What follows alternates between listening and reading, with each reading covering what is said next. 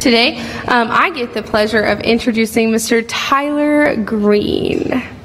Tyler has been with us for about two years. Um, he started coming because someone invited him, and he has been here ever since. What a joy it has been to have him. Um, Tyler is going into the Marine Corps, and he leaves in two weeks oh, 13 days. We are below the two week mark.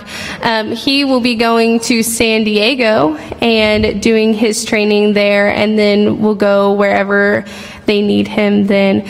But Tyler has been such a joy to see grow in his faith, and I'm so excited that he is giving our um, sermon today. And so I'm going to invite Mr. Tyler Green up here to come share a word with you.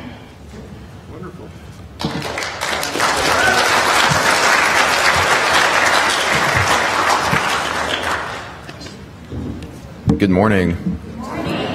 She just kind of stole my whole introduction. So like the first part of this. Um, all right. So my name is Tyler, like I said, and I'm a graduate of Sapulpa finally. Um, so the Marines live by three core values, and those core values are honor, courage, and commitment. And I'm here to talk to you about how those tie into your walk with Christ.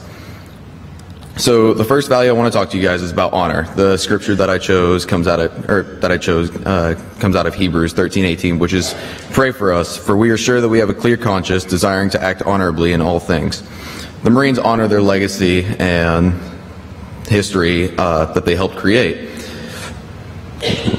Uh, every Marine you're ever going to meet is prideful and honorable about the fact that they are a Marine.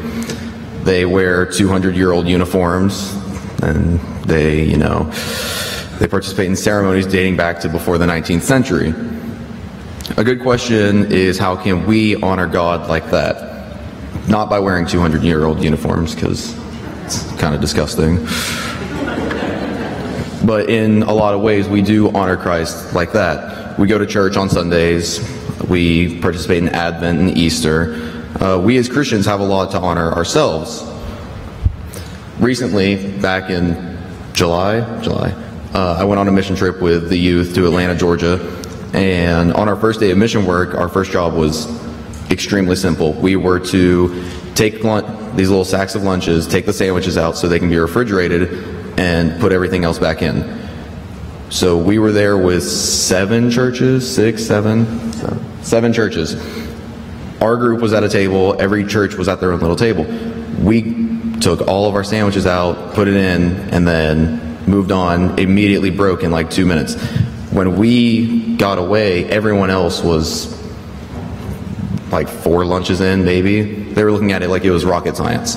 So we go over and we start helping them, kind of showing them what to do. And I look up just long enough and I see a man, huge smile on his face.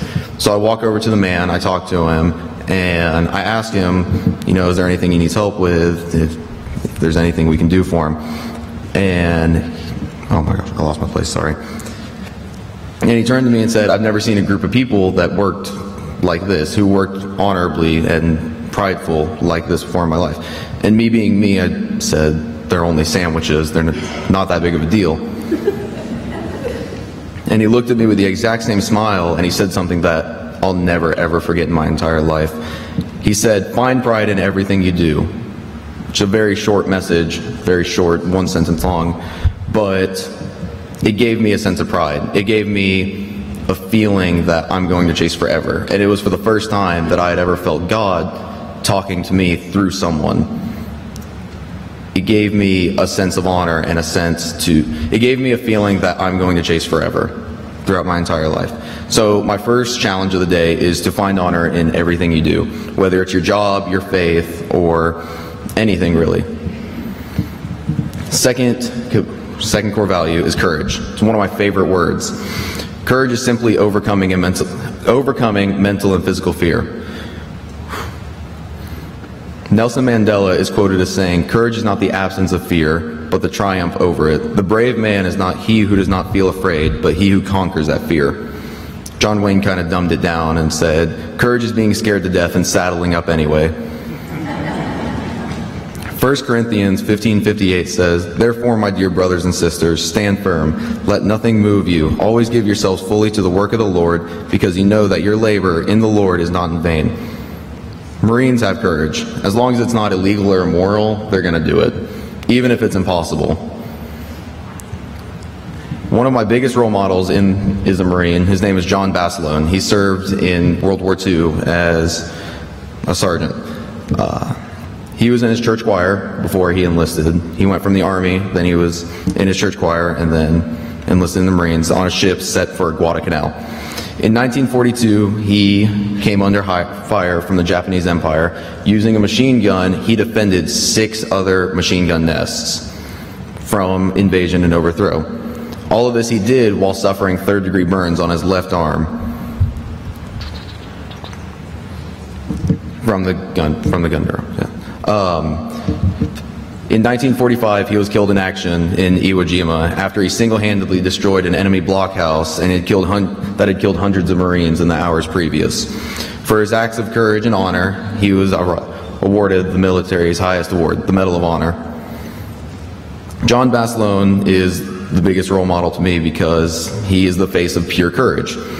And that's why I chose the scripture for, or one of the scriptures for today because it speaks absolute volumes. Courage is all over the Bible. Paul shows courage by continuing to preach after receiving death threats and being in prison.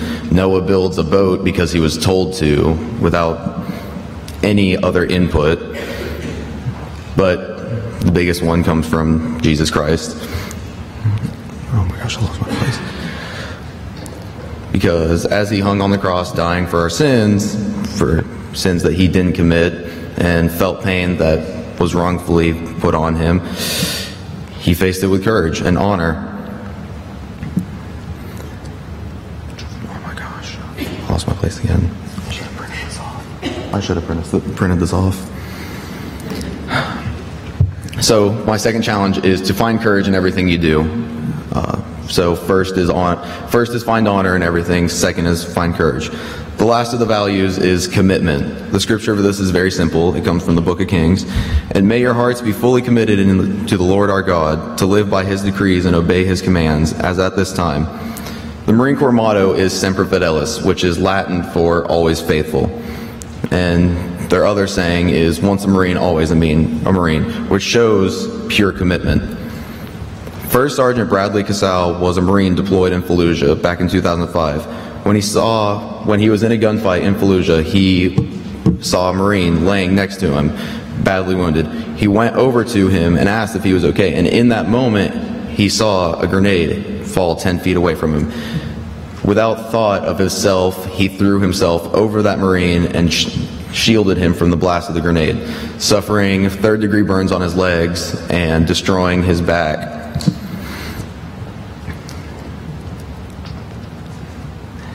That Marine stood up, First Sergeant Kasal, stood up, got his Marine up, grabbed his rifle, and continued on in the gunfight throughout the entire day with third degree burns. That's pure commitment to me. That is absolute commitment to anything that you can do.